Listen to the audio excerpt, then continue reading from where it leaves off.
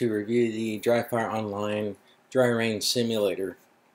Um, unlike the other ones where I reach out, try it out, or buy it, try it out, and uh, give a review to you guys about it, this one came out and reached out to me and, and uh, allowed me to try out their simulator to, for a review and to give you guys a discount code for a for, for basically a month of um, free trial. Uh, normally they have a week trial uh, for you to try out, but the, there's a code Joe M that you can use that will give you a month trial, so you can be able to use this and see if you know it's something you want to uh, subscribe to. They have a couple different subscriptions that you could uh, buy.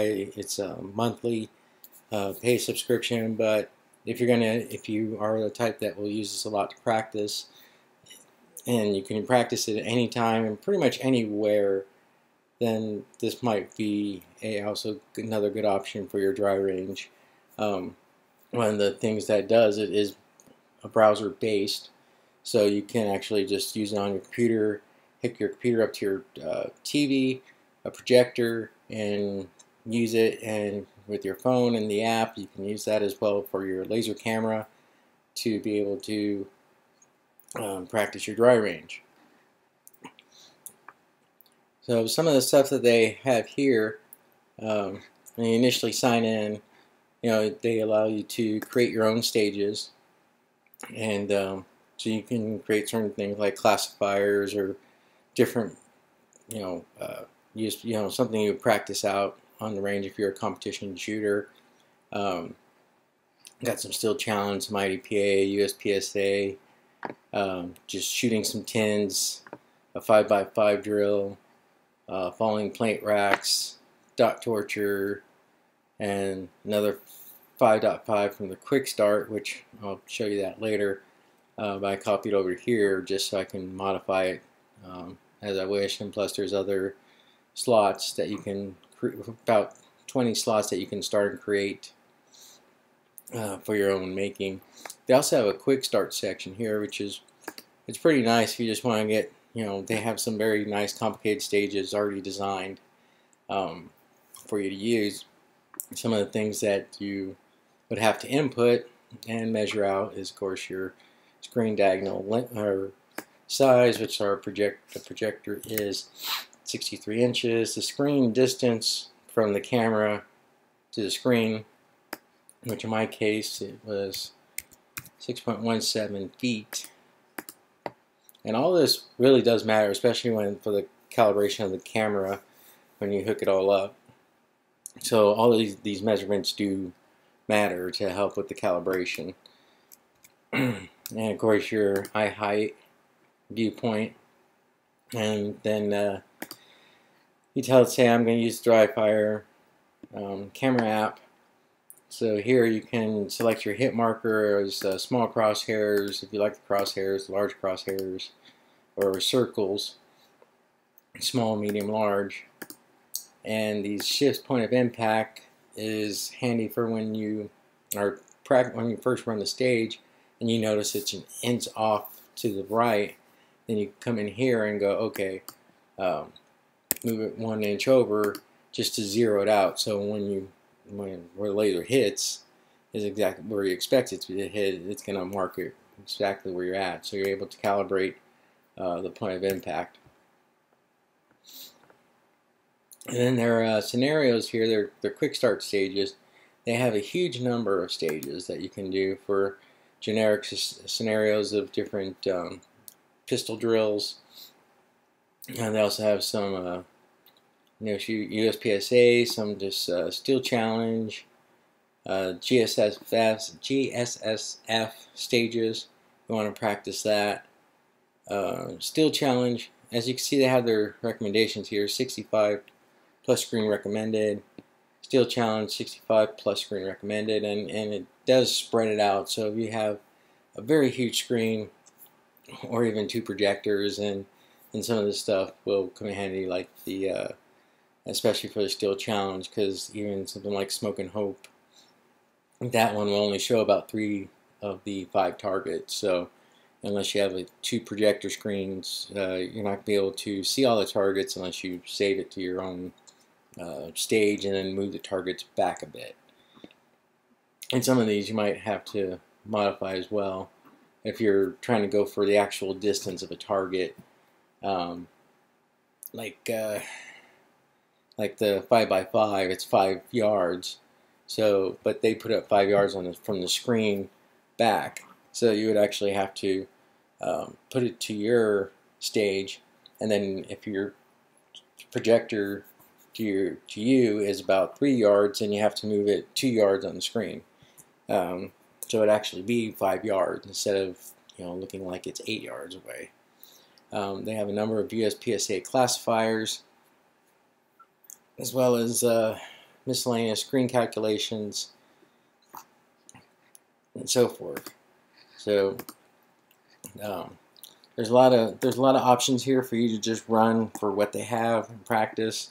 Uh, the audio um, will allow you to do gunshot or beeping gunshot when it starts up.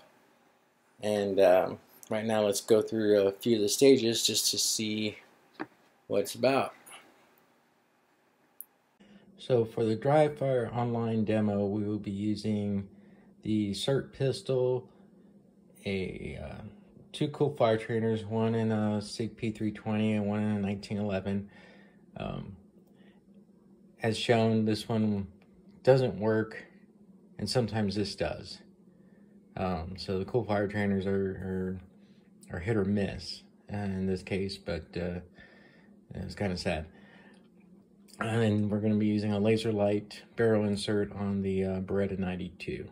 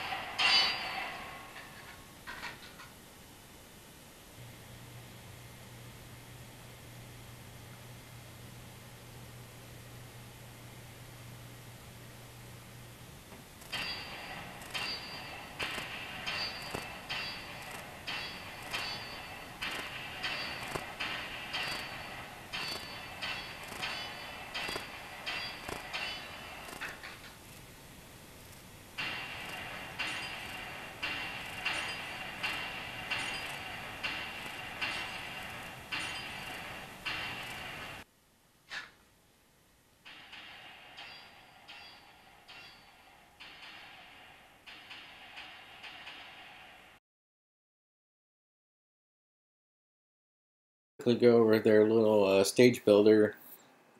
When I found out it was web-based, I was just a little bit leery. I'm, I'm used to doing stuff on PCs, and sometimes web is very limited, but it's actually a very impressive web-based um, stage builder. Uh, some of the, you know when you first start it up, you can it comes up with the default target, and you just practice on that. Uh, when you click on details, you have a huge number of different targets that you can do, some uh, drills, 5x5 drill, index drill, uh, steel plates, USPSA steel plates, IP, SC targets, IDPA targets, USPSA targets, uh, Bianchi targets, yeah, you can do just a stand, some plate racks. You can, you know, if you want to do some IDPA scenarios, you can do some car, put some cars here and there. You can also do some uh, glass bottles uh, out there to shoot. Now, they don't explode when, when you hit them. You can just tell them to disappear, but um, it, it's still pretty cool. Um, add some trees here and there and some bushes if you want to do some background. Um, hide some target uh, covered by, partially covered by some sort of background. Um, there is a huge number of targets that that's available for you to do your design. USPSA Sheriff. Do a regular USPSA target.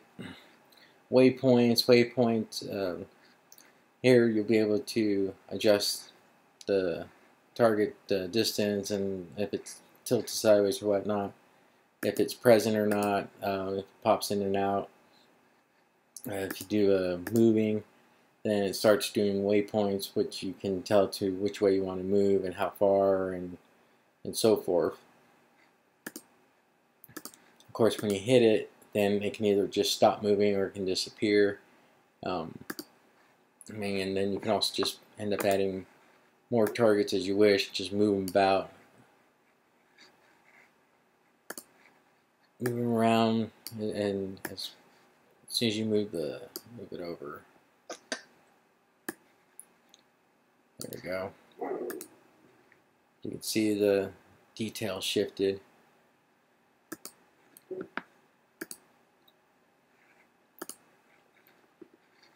And you can have them snap to grid or move it closer and you can also at the stage you can change the backgrounds if you want to do something pretty um, if you want to do a regular firing range or uh, there's a good number of uh, backgrounds that you can do or you could just have plain solid colors if you want do your preparation time uh, target exposure time, so that target exposure time will be the entire stage. So the whole stage will run for 10 seconds.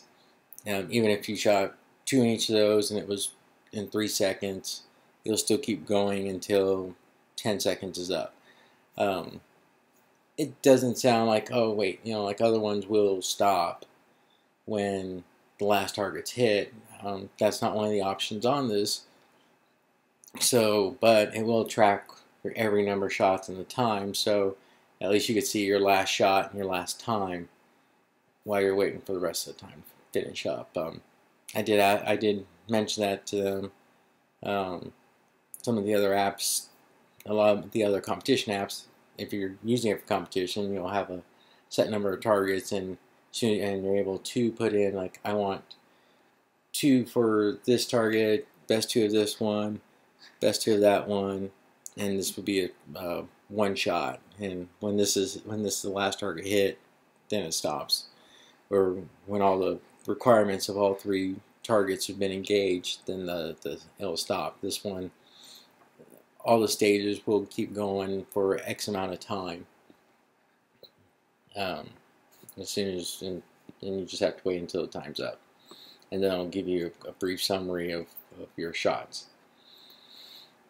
audio. Um, you can have gunshots if you want the background noises. You know, you also could do the whole prep for matches. You know, uh, shooter ready, are you ready, stand by, the start beep, and if you want the whole uh, unload and show clear, basically everything you will hear at actual match is available right there. Alright. And here, then uh, once you're done, you can save it and you can uh, type in what it, the name so you can look at it and then you can see uh, type in description for you know, two USPSA cards and one steel plate. And then you can select your slot that you want to save it in or you can write over an existing one or or put in another slot number if you don't want the next one. Just click save. And now you have, now you're able to uh, preview or run through the stage.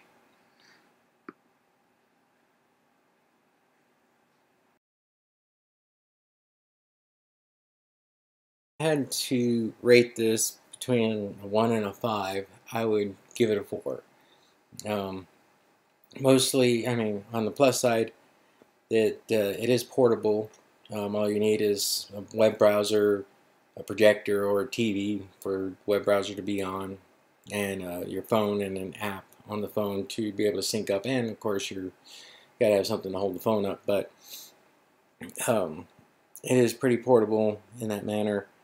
Um, I also like that you can build stages on there, and they do have a number of quick start stages and miscellaneous drills for USPSA, IDPA, um, some of your regular standard pistol drills, GSSF, um, Steel Challenge. They have quite a number of stages already set up for you on the quick start to play with. I do like that, and I have um, while playing with this, I have uh, sent them things that like, hey, you know, can we do this? You know, or would it be nice if it had this, or or can we can you do this or this? And they have been very the support has been very responsive and very open to suggestions. Um, I do like that about them. Uh, some of the things I don't like about them, which is why they them giving them uh, four out of five, is just uh, some of the things I've already sent to them, like the. Uh, it would be nice if um, on some of the targets if you can set it like oh this is my end one or this is my stop target stop the time right there that would that would be a nice option. That's some of the things I've been able to do on other simulators. Uh, but this one there is no ability to set a stop target. The summary the end summary flashes too quickly. Um, so if you have to screenshot it or, or something to get your stages or your times if you want your last time real quick um, and of course that wait time you know since there is no stop target you have to set a, a, number of seconds for that stage and do it within that time. But if you finish halfway through then you just gotta wait for it to roll over. Um, and I also don't like the that uh, you can't there's no archive of your past scores so you can't see how you did before. And to see if you're progressively getting better that is tracking you'd have to track it yourself. If you capture that screen real quick. Um, of course, some of the things that they can't um, that they can't fix is that I live out in the country, so my internet sometimes acts up, and uh, it hasn't worked. There was one morning where I wasn't able to practice with it because uh, my internet was down and it, or shaky here and there, and it connect and disconnect, and then just stayed disconnected, and and I wasn't able to use it. Um, the other thing I don't like is that uh, it doesn't work on all the Coolfire trainers. Uh, it did work with the 1911, but it also, but it didn't work with the the one that I have for the Sig P or 320. Um, and that one's a hit or miss, but it's not a deal breaker since I also have other trainers. But I do use the Coolfire a lot um, for uh, my practice.